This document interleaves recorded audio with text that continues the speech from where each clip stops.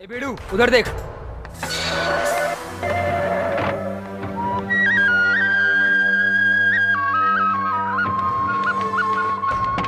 भैया उसकी बीवी बच्चे को स्कूल छोड़ने जा रही है। वो कहीं भी जाए आज उसे छोड़ना नहीं है।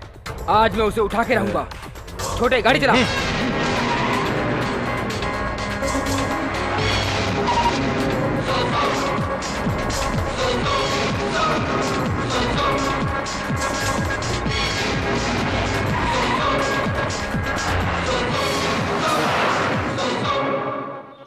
सर?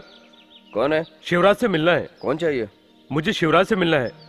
वो घर पे नहीं है क्या? अरे यार कैसे इंसान हो तुम? वो घर खाली करके यहाँ से जा चुके हैं। कहाँ गए मुझे नहीं पता। उनसे पैसा लेना है तो पुलिस स्टेशन में कंप्लेन करो। वो तुम्हें ढूंढ के देंगे। बेकार में बार बार चले आते हो मेरा दिमाग खाने। जाओ यहाँ से जाओ। हम्म पता नहीं कहाँ से आ जाते हैं। अरे कहाँ फंस गया यार?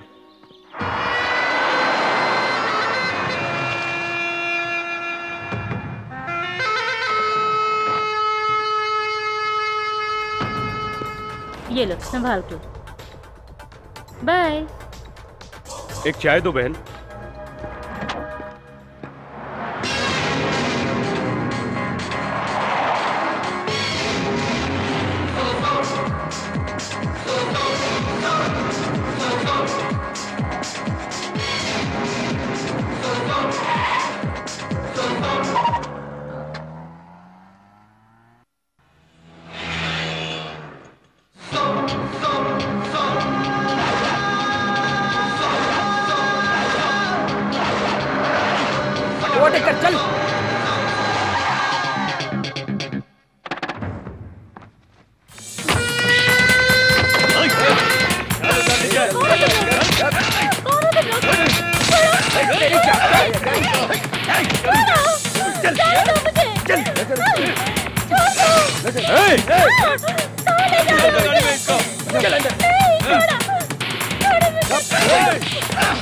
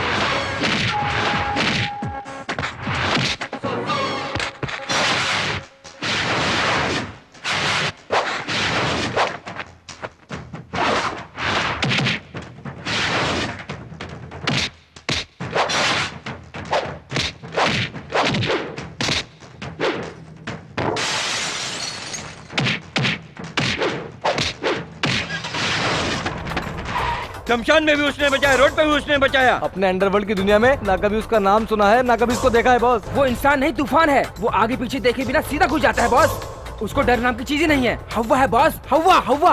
वो हुआ नहीं बॉस। सुनामी है सुनामी। वो हुआ हो या सुनामी हो ये सब मैं नहीं सुनना चाहता। वो कौन है? उसका बैकग्राउंड क्या है? सब मुझे पता चलना चाहिए।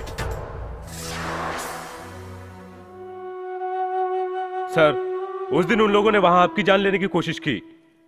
और आज इन्हें किडनैप करने की कोशिश की। वो कौन है? आप कौन है? आपसे उन लोगों की क्या दुश्मनी है सर? इसके बावजूद भी आपने पुलिस स्टेशन में कंप्लेंट नहीं की। क्यों सर? नहीं बता सकता। नहीं बताने जैसा ही कुछ मजबूरी है हमारे बीच में। मैडम ये क्या कह रहे हैं? ये पूरी दुनिया पापियों की दुनिया है। उसे जाल में हम भी फंसे हैं। जब तक ज़िंदा रहेंगे इसी तरह तड़पते रहेंगे। मतलब ये पुलिस ये कानून ये गवर्नमेंट कोई भी आपके साथ नहीं है। देशद्रोही ग्रुप में इस समाज के आप जैसे लोग भी फंसे हैं। आखिर क्यों? सर, आप तो पढ़े लिखे हो। आप इसमें कैसे फंस गए? दादागिरी, इस दुनिया में कोई भी अपने साथ नहीं लाया। कोई भी माँ बाप अपने बच्चों को ये काम एप्लीकेशन देके नहीं भेजते। सब कुछ हालात के साथ अपने आप हो जाता है। इसमें अच्छे लोग भी हैं, बुरे भी हैं, अनपढ़ और एजुकेटेड लोग भी शामिल हैं। ये तो देख ही रहे हो। पुलिस वाले कोई सिक्योरिटी नहीं देते।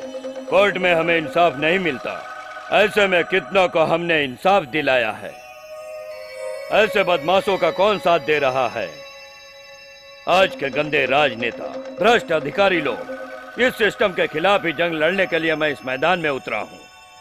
आखिर मैं इस जाल में फंस कर निकल नहीं पाया और यहीं फंस गया। मैंने नहीं, जाने कितने लोग इस गंदगी से निकल